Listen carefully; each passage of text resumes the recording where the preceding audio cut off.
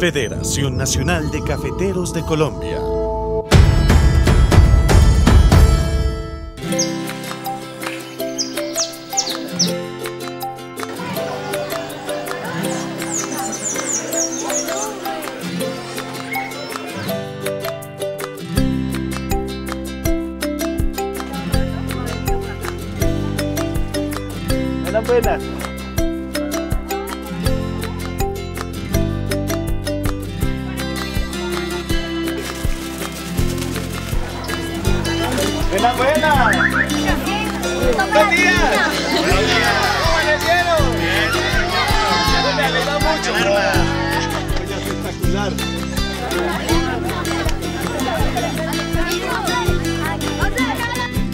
Y es que tengo la piel de gallina, el corazón acelerado y el ojo aguado, porque estoy con la fuerza que mueve nuestro hermoso país, a Colombia. Y estamos hablando de su gente. Un fuerte aplauso para la gente de Colombia.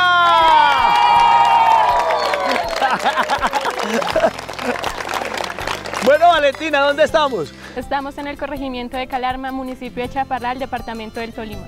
¿Qué ama Calarma pues aquí? ¿Quién? A ver.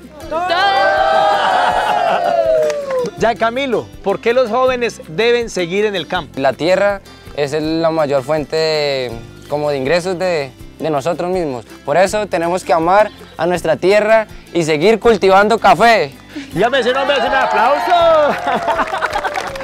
Es que los digo de todo corazón, tengo el corazón acelerado, el ojo aguado de la emoción de estar con personas maravillosas que construyen todos los días a nuestro país. Y somos las personas que vivimos en el campo. De verdad, eh, esta aventura es muy especial precisamente por eso. Desde el corregimiento de Calarma, municipio de Chaparral, departamento del Tolima. Sean todos bienvenidos a las aventuras. Allá arriba en aquel alto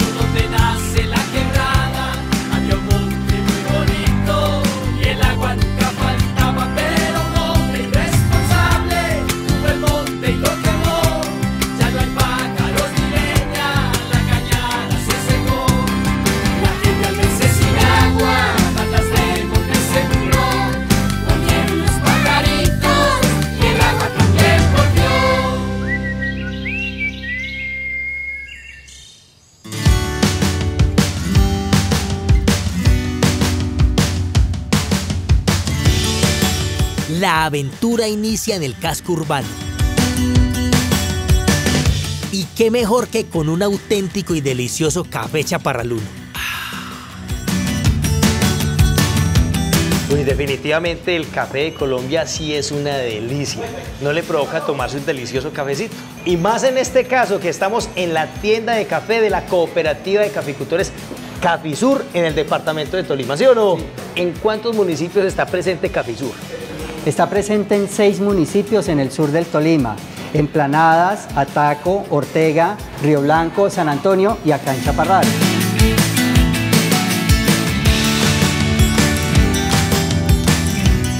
Estamos tomando café de excelente calidad, hay un boom de, de venta de café de calidad, de preparaciones, pero ¿cómo así que la cooperativa tiene su propia tienda de café? Precisamente el formato de esta tienda se crea con el fin de mostrar tanto a visitantes como a propios de la región que acá en el sur del Tolima se produce el mejor café del mundo, ¿De quién es esta tienda? de los caficultores del sur del Tolima. Así es sencillo. Dagny, usted que es la catadora, ¿qué es lo que hace un laboratorio de calidad de café en la cooperativa? Entonces, lo que hacemos es verificar que un café sea apto para poderlo comercializar.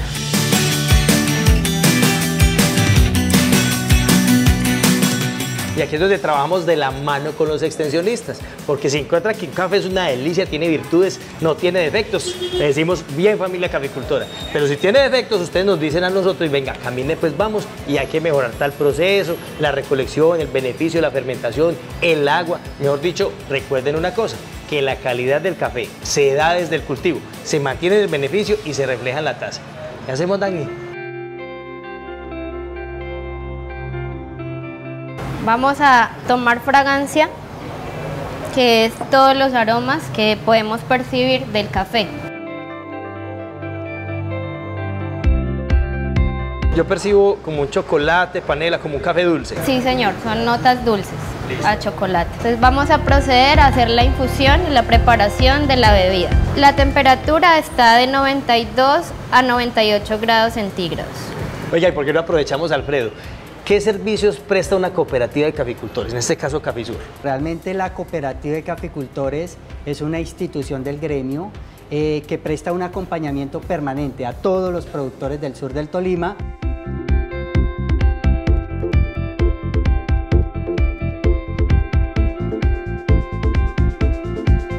Eh, el acompañamiento es permanente en cada una de sus etapas que tiene eh, el productor en su empresa cafetera, con el acompañamiento eh, a través de los análisis de suelos que entrega la cooperativa completamente gratis para sus asociados.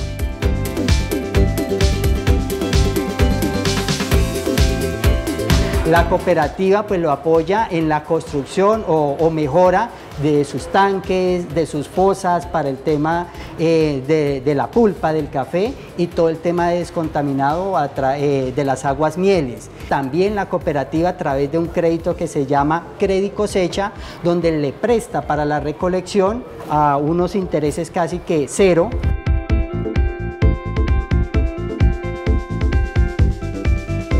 Y finalmente le hacemos un acompañamiento y asesoría en la parte comercial. Pero precisamente la invitación que les tenemos a ustedes, asociados de las cooperativas de caficultores, ahí los vemos bien. Miren la gran ventaja y grandes virtudes, grandes beneficios que tienen ustedes como asociados.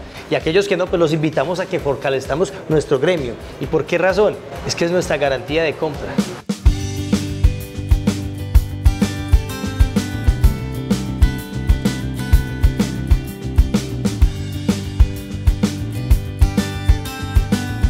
En el momento de romper taza es donde eh, salen a flor todos estos aromas. Aquí tenemos notas eh, a chocolate, notas dulces.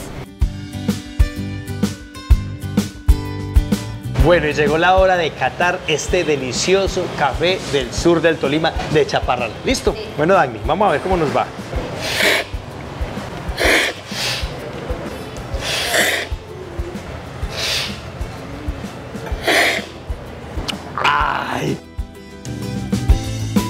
El perfil que podemos encontrar es una acidez media alta, un cuerpo cremoso, tiene unas notas dulces a panela, es un café muy suave que deja un sabor residual prolongado, entonces es un sabor muy agradable en, en boca. Ay, mire, le siento por como un cítrico chiquito por allá. Tiene unas notas cítricas también, sí señor, acompañadas de notas a panela y notas cítricas, eh, una acidez media alta que eh, aporta una muy buena característica a este perfil. Ya, qué delicia, hombre, Alfredito. Muchas gracias, hombre. Ese es el café del sur del Tolima, profesor. Una delicia, papá. Agni, muchas gracias. Un sí, placer. señor. Es que mire, este es otro de los grandes beneficios que nos ofrecen nuestras cooperativas de caficultores. Y usted venir aquí a Chaparral, Tolima, a la tienda de Cafisur y deleitarse con un delicioso café del sur del Tolima. ¿No le encantaría? Con permisito.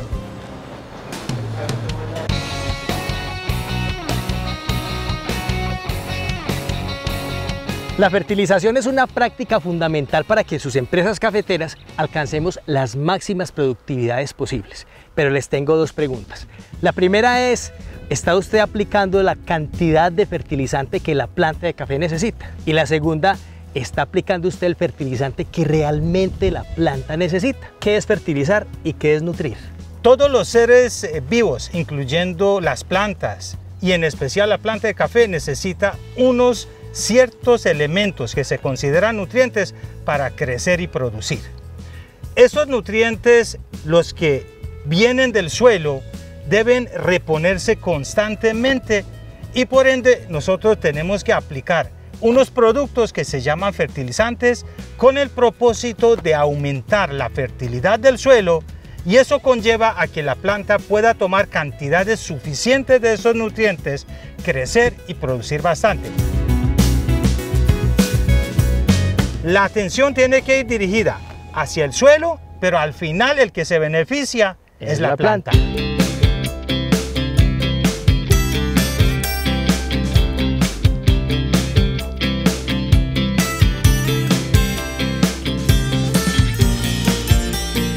La primera herramienta que uno debería tener, el agricultor debería tener en la mano, es el resultado de los análisis de suelo, como el examen que se hace para saber qué tan fértil es el suelo, qué problemas tiene y qué debe hacer para mejorar y mantener la fertilidad del suelo de ahí en adelante. Si hay que corregir problemas de acidez, aplica la enmienda que debe ser.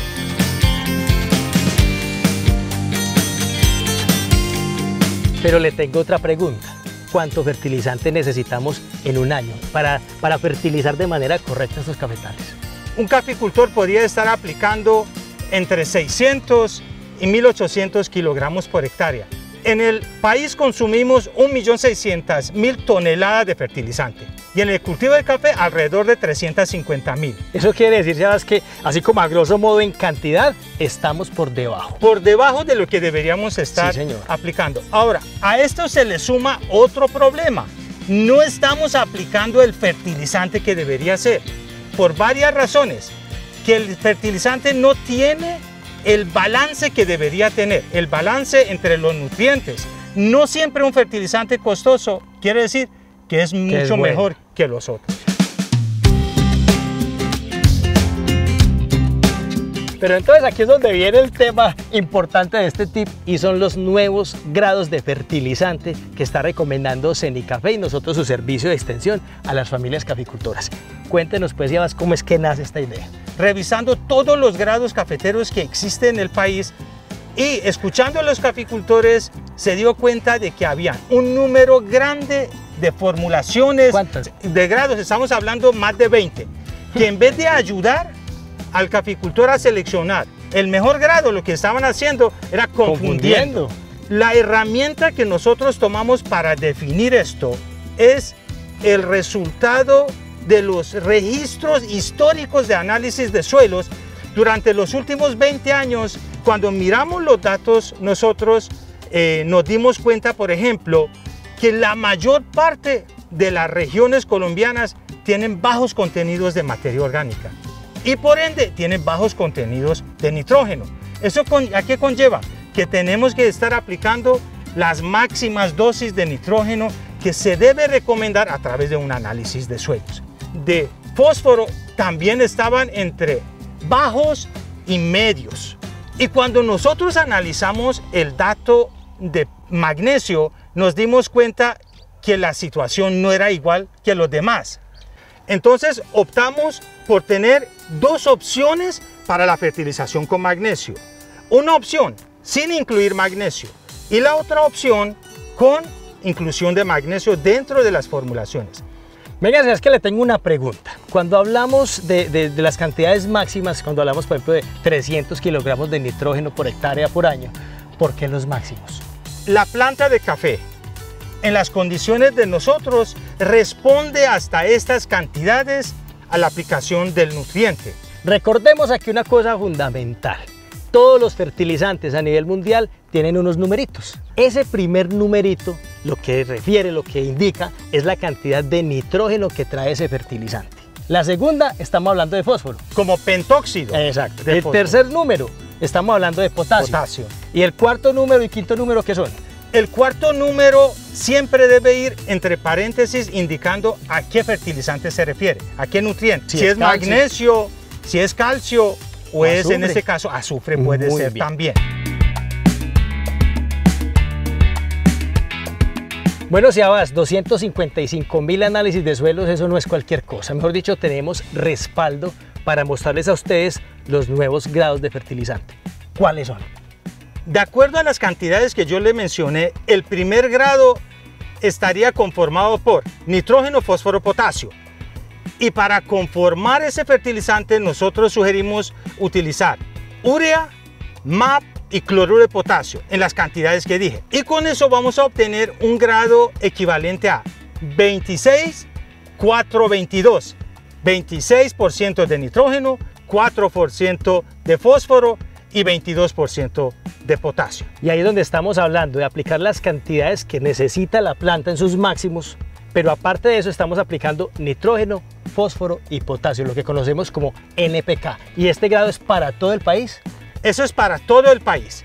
Para los sitios que no tienen deficiencia de magnesio en ese caso, ni de azufre.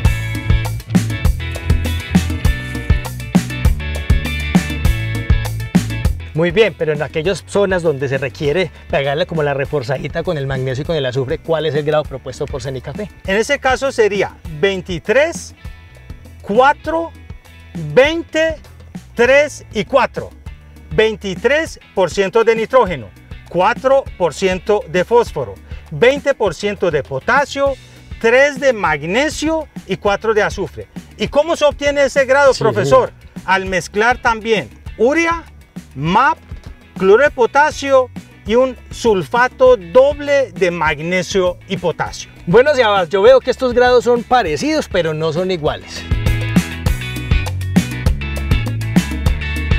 Cuando hablamos de reforzar ese magnesio incluso con azufre, estamos hablando del 23-4-23-4, Así es, profesor. ¿cierto? Y el otro, que es NPK, es 26, 4, 22. 22. Eso se aplica la misma cantidad por hectárea. No, profesor. Eh, cuando hablamos de 26, 4, 22, tenemos que estar hablando de unos 1.160 kilogramos por hectárea por año para cafetales con altas densidades y a plena exposición. Si yo voy a aplicar el fertilizante en un lote que tiene sombra o menos densidad de planta, tengo que ir ajustando las cantidades de acuerdo a mi sistema de producción.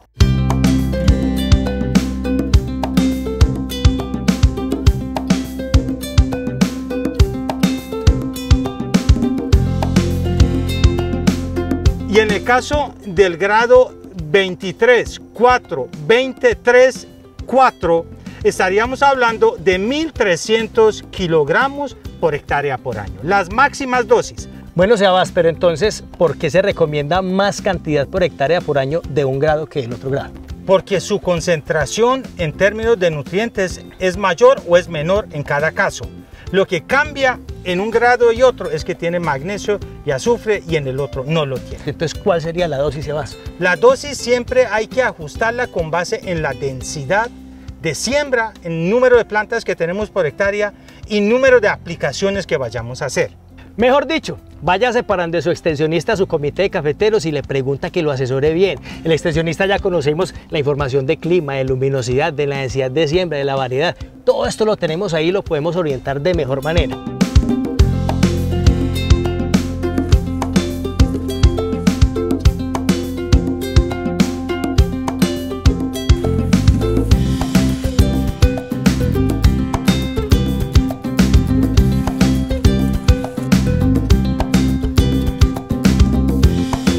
Venga, si además que es que ahí viene otra pregunta. Me decía un caficultor, oiga, profesor Yarumo, ¿y esos grados nuevos entonces es una mezcla física? Porque es que me han dicho que la mezcla química es mejor. Los resultados de las investigaciones de Cenicafé demuestran que al utilizar complejos granulados o mezclas físicas, la planta responde de la misma manera, produce lo mismo y la calidad es la misma siempre y cuando se apliquen las mismas dosis de nutriente en ambos tipos de fertilizantes, sin bajar la productividad ni la calidad. Y con diferencias económicas importantes, ¿no? Bastante importante y eso es lo que cuenta hoy en día para la caficultura.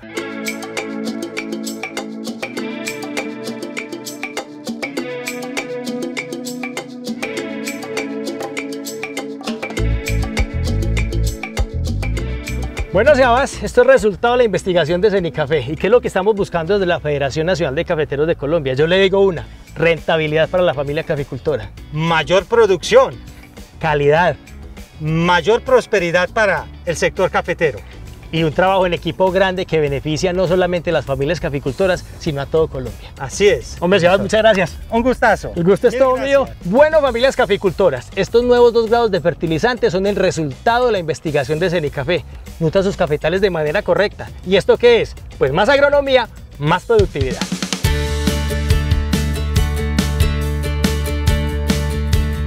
De regreso al sur del Tolima, ya en uno de los más importantes pueblos del café, Chaparral, continúa nuestra aventura por sus caminos veredales. ¿Cómo les parece que hace poquito me llegó un mensaje al Facebook del profesor Yarumo y me decía, profesor Yarumo, conocemos muy bien cómo funciona el Comité Municipal de Cafeteros, pero ¿por qué no nos dice cómo funciona como el esquema gremial de ahí para arriba?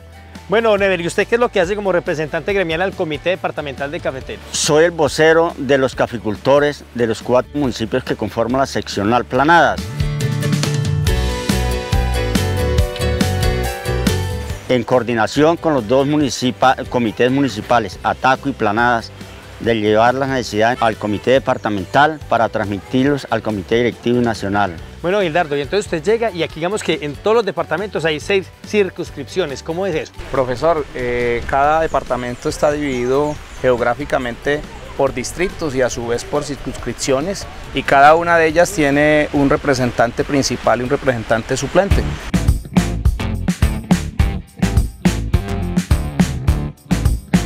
En el Tolima y en todos los 15 departamentos cafeteros que tienen comité departamental.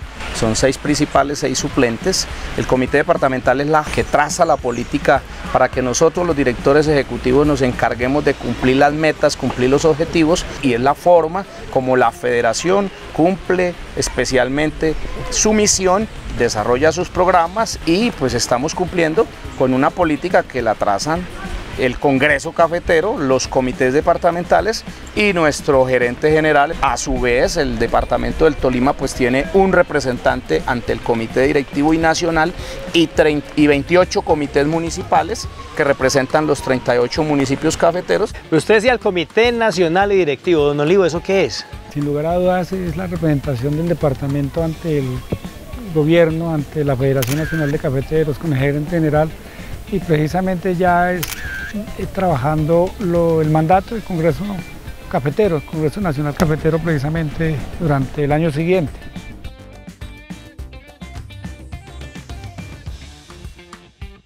Sin lugar a dudas, el comité directivo, usted ya lo mencionó, y el comité nacional, pues ya son los 15 representantes de los comités del país, en conjunto con el gobierno nacional, pues de hecho los, ministros, en este caso el de Hacienda, Agricultura, Comercio Exterior, Planeación Nacional. Y precisamente con ello pues, se traza la política cafeteras en conjunto con el gobierno nacional. Oye, entonces si lo miramos desde la base, están las familias caficultoras que eligen sus representantes gremiales. Cada municipio entonces está conformado por el comité municipal. ¿Correcto? profesor. Muy bien. A nivel departamental, ¿cómo está? El comité departamental, que son seis circunscripciones. Entonces, por ejemplo, el Tolima más 14 departamentos más van al comité nacional y al comité directivo a representar su departamento y a tomar las decisiones de la caficultura de Colombia. Y no, yo quiero añadirle un poquito ahí porque de hecho lo que el comité directivo hace son las políticas que trae el Congreso Nacional Cafetero. No, no es nada diferente. Y sea este el momento muy especial para agradecerles a ustedes, representantes gremiales, hombres y mujeres que hacen esto de corazón, de liderazgo, con muchísimas ganas y aportando al bienestar de las familias caficultoras colombianas.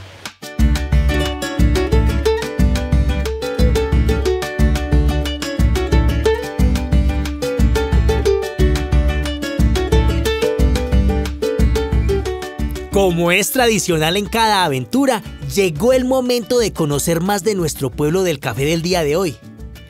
Este es Chaparral, nombre dado al municipio por la cantidad de árboles chaparros que encontramos acá. Un municipio fundado en 1586, que cuenta con 5 corregimientos y 53 veredas, la mayoría de ellas cafeteras por cierto.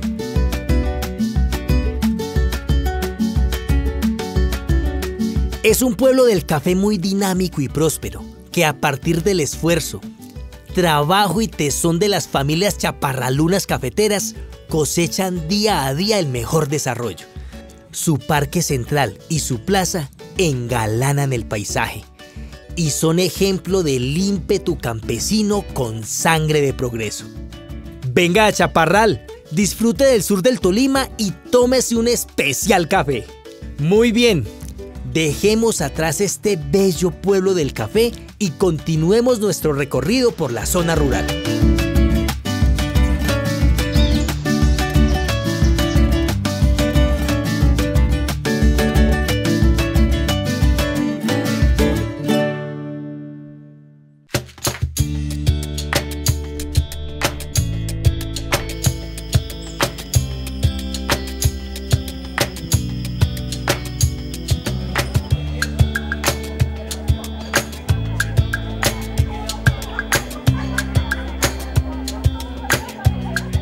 Algo que hemos aprendido de las familias caficultoras colombianas es a trabajar en equipo y construir nuestro país juntos. Oiga, y es que ni el agua nos puede, ¿sí o no?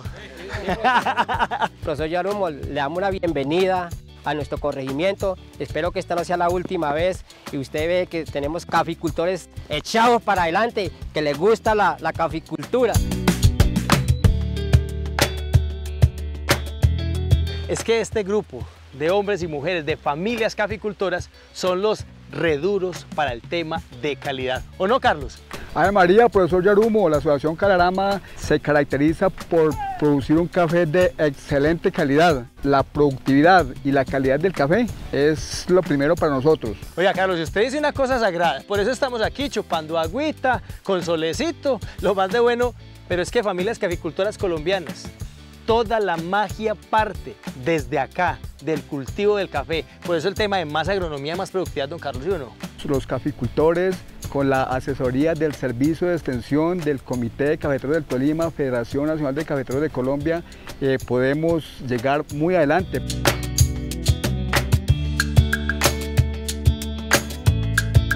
Y eso tenemos que agradecerlo a la investigación que hace Semicafé, el Centro de Investigaciones del Café y los programas que tiene eh, la Federación Nacional de Cafeteros de Colombia por intermedio de las cooperativas de caficultores.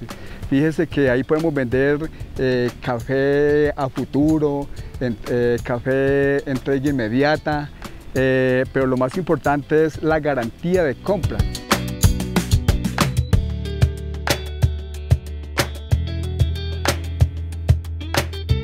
¿Cómo nace el grupo? ¿Por qué la idea? Queremos como caficultores eh, mostrarle al, al mundo que nosotros asociativamente podemos, podemos sacar una caficultura adelante, sacar el mejor café de Chaparral, el café especial. El grupo asociativo Calarama, los que estábamos aquí frente a estas cámaras, eh, logramos ganarnos el concurso nacional de la calidad del café, Ili Café, donde hay un concurso de café de calidad, ahí está la asociación Calarama presente en el reciente concurso de café de calidad Colombia Tierras de Diversidad.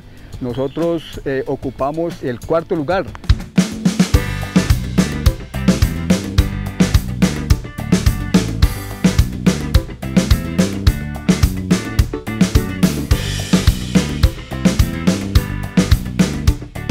Yo les decía ahorita, es que este es el trabajo en equipo de los equipos. ¿Cómo así que ustedes trabajan de la mano con el grupo de mujeres? Como son las esposas de nosotros, queríamos hacer una sola, un solo encaje, ¿no? Para que ellas y nosotros hagamos un, un equipo para que los dos grupos trabajemos aso- asociados. Nosotros estamos parados en una mina de oro, donde se produce el café de excelente calidad. Aquí tenemos unas condiciones eh, climatológicas, una, ofer- una oferta ambiental excelente. Las familias caficultoras aportamos al desarrollo y la construcción de nuestro país. Apenas empezamos a grabar, dijeron, empezó a llover y yo, no, nos va a tocar escondernos. ¿Y cuál escondernos, profe? A nosotros no nos puede ni el agua, ¿sí o no? Esa es la actitud, papá, ¿sabe que un fuerte aplauso para ustedes bien grande? Y es que mire, estas son las familias caficultoras y campesinas y colombianas que construimos a través del café nuestro hermoso país. Desde la vereda Rizalda, corregimiento de Calarma, municipio de Chaparral, departamento del Tolima. Nos vemos en la próxima, aquí en Las Aventuras.